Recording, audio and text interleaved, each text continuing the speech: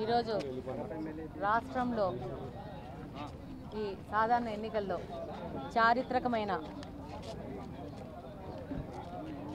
ఫలితాలు వచ్చాయి. అందులో ముఖ్యంగా కడప నియోజకవర్గం గత ఇరవై సంవత్సరాల నుంచి తెలుగుదేశం పార్టీ ఊసు లేకుండా ఉన్న నియోజకవర్గంలో తెలుగుదేశం పార్టీ విజయం సాధించడము ఇది చంద్రబాబు నాయుడు గారికి కడప జిల్లా నుంచి మేము ఇచ్చే ఆయనకు బహుమతి. కడప కంచుకోటను బద్దలు చేశాం. ఈ యొక్క విజయానికి ముఖ్య కారణము కడప నియోజకవర్గంలో ఉన్న ప్రజలు మీడియా ప్రతినిధులు అందరూ. మా పార్టీ కార్యకర్తలు నాయకులు అందరూ. గత ఇరవై సంవత్సరాల నుంచి రెడ్డప్ప గారి రాజగోపాల్ రెడ్డి ఫ్యామిలీ నుంచి ఎవరు గెలవలేదు మీరు గెలవలేకపోయినారు. ఎక్కడి నుంచో వచ్చి ఇక్కడ పోటీ చేస్తున్నారు. మీరు కార్పొరేటర్ స్థాయిలో గెలిచారా? వార్డు స్థాయిలో గెలిచారా? మీరు ఎవరు? ఎక్కడి నుంచో వచ్చారు? ఇక్కడ ఉండరు వెళ్ళిపోతారంటూ అబాకులు చెబాకులు అందరూ వాగిన వాళ్ళకి వాగిన వాళ్ళకందరికీ ఒకటే సమాధానము. ఇరవై సంవత్సరాల నుంచి మేము గెలవలేదన్న వాళ్ళకందరికీ ఇక్కడ గెలిచాము. దీనికి ముఖ్య కారణము కడప నియోజకవర్గంలో తెలుగుదేశం పార్టీకి ఓట్లేసిన ప్రతి ఒక్కరికి ధన్యవాదాలు తెలియజేసుకుంటున్నాను.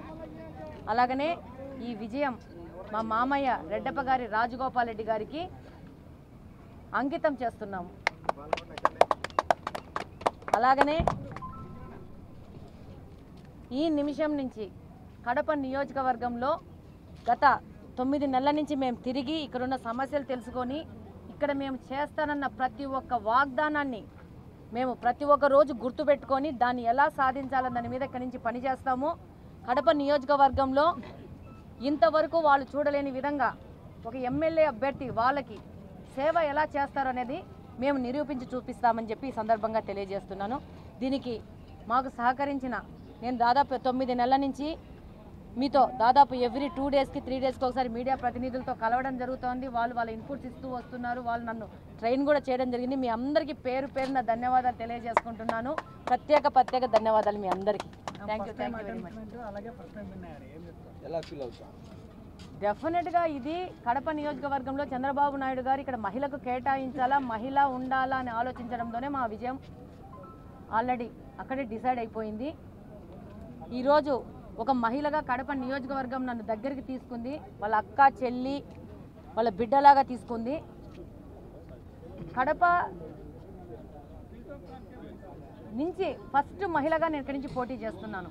ఇప్పటి వరకు స్వాతంత్రం వచ్చినప్పటి నుంచి ఇంతవరకు ఒక మహిళను కూడా ఇక్కడ ఏ పార్టీ నిలబెట్టడం జరగలేదు గెలవడం జరగలేదు. ఇది చారిత్రాత్మకం. అలాగనే కడప మాది మా గడ్డ అడ్డ అన్న వాళ్ళకు కూడా తెలియజేస్తున్నాను. మీ కోట బద్దలు కొట్టేశాము. ఈ యొక్క ఎలక్షను అమ్జద్ బాషా గారు ఇప్పుడు ఓడిపోయిన వ్యక్తితో ఎలక్షన్ అనుకుంటున్నారు కానీ లాస్ట్ మూడు రోజులు ఎలక్షన్కు ముందు. ముఖ్యమంత్రి ఇప్పుడు మాజీ ముఖ్యమంత్రి జగన్మోహన్ రెడ్డి గారు వచ్చి అంజద్ బాషా గారు తప్పు చేశారు ఆయన ముఖం చూడొద్దండి నా ముఖం చూసి ఓటేయండి అని అడిగారు. నేను ఇప్పుడు చెప్తున్నాను నేను జగన్మోహన్ రెడ్డి గారిని ఓడించాను. ఇదే నేను చెప్పదలుచుకున్నాను thank you thank you very much ఇదంతా చాలా ముందు ముందు యా- ఈ స్పెక్యులేటివ్ వాటికి అంతా మనం సమాధానాన్ని ఇవ్వాల్సిన అవసరం లేదు. ఇప్పుడు ముఖ్యంగా మనం వెళ్ళేసి మన కార్యకర్తలు మన నాయకులను కలవాల్సింది ఈ యొక్క విజయంలో వాళ్ళ పాత్ర అన్నిటికంటే ముఖ్యమైనది దాన్ని. మీ విజయంలో మీ ఆయన గారి పాత్ర కూడా ఎంత డెఫినెట్గా శ్రీనివాస్ రెడ్డి గారికి ఈ రోజు కడప నియోజకవర్గంలో ఐదు ఐదు గెలిచినాం కదండి?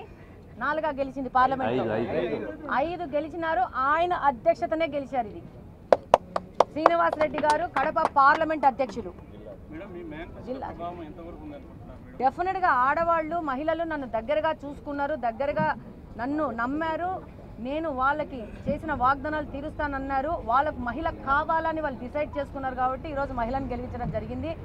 అలాగనే మీ అందరికీ తెలుసు కడప నియోజకవర్గంలో మహిళను ఎలా దుర్భాషలాడారో మహిళలకు ఎలా అవమా అవమానం చేశారో. ఆ అవమానం చేసిన వాళ్ళకందరికీ కడప నియోజకవర్గంలో ఉన్న మహిళలందరూ బుద్ధి చెప్పారు ఈరోజు. క్యాబినెట్ బెడ్స్లో కన్ఫర్మ్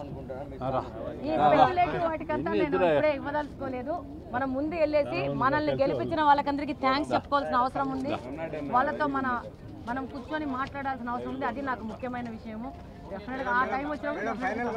మీ ప్రచారంలో భాగంగా మీ కార్యకర్తలు మీకోసం పనిచేసి అక్రమ కేసులు బనాయించుకున్నారు. వాళ్ళకి ఎటువంటి భరోసా ఇస్తున్నారు? వాళ్ళకు ముందు నేను ఉంటానండి. నేను ఆల్రెడీ చెప్పాను తొమ్మిది నెలల నుంచి చెప్తున్నాను. దేనికి భయపడకండి? మార్పు తథ్యం. మనం భయపడ్డం అనేది వాళ్ళ చేతుల్లో ఆయుధం వాళ్ళ చేతుల్లో ఏ ఆయుధం లేదు. మన భయం వాళ్ళ ఆయుధము. మనం ఏం భయపడాల్సిన అవసరం లేదన్నారు. అదేవిధంగా ఈరోజు కడప నియోజకవర్గంలో తెలుగుదేశం పార్టీనే లేదన్న వాళ్ళకందరికీ సమాధానం ఇస్తున్నాను. మా కార్యకర్తలు మా నాయకులు ఎలక్షన్లో చివరి వరకు కూర్చొని సెవెంటీన్ సి తీసుకొని ఇంటికి వచ్చినారు మాకంటే ముందు వైసీపీ వాళ్ళు బూతులోంచి వెళ్ళిపోయిన పరిస్థితి. కార్యకర్తల మనస్థైర్యాన్ని నింపినాము వాళ్ళకి భరోసా కల్పించినాము.